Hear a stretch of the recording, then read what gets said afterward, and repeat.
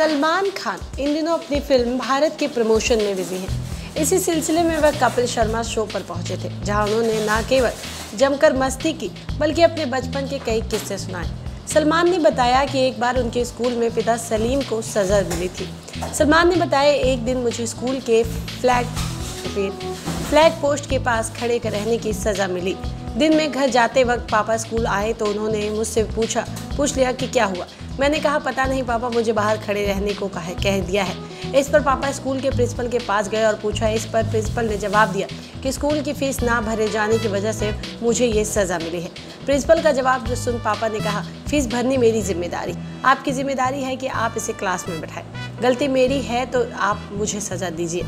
इसके बाद लंच से लेकर स्कूल बंद होने तक पापा फ्लैग पोस्ट के पास खड़े रहे। जिनके अगले दिन ही उन, उन्होंने फ़ीस भर दी और टीचर से माफ़ी भी मांगी थी। सलमान खान की ये बात सुन सभी हैरान रह गए कि किस तरह पिता ने प्रिंसिपल से बात की और फ़ीस ना जमा करने की सज़ा खुद भुगती। बता दें कि सलमान ही नहीं, तीनों भाइयों के पिता के साथ बेहतरीन बॉन्डिंग है। सलमान ने सुपर डांसर के सेट पर बताया था कि वह पिता के साथ दोस्तों की तरह रहते, लेकिन गलती पर उनकी पिटाई भी हो जाती है। सलमान ने मज़ाक करते हुए कहा था कि वो अभी भी अपने पापा से पिटाई खाते रहते हैं। फिल्मी अड्डा से प्रियंका की रिपोर्ट।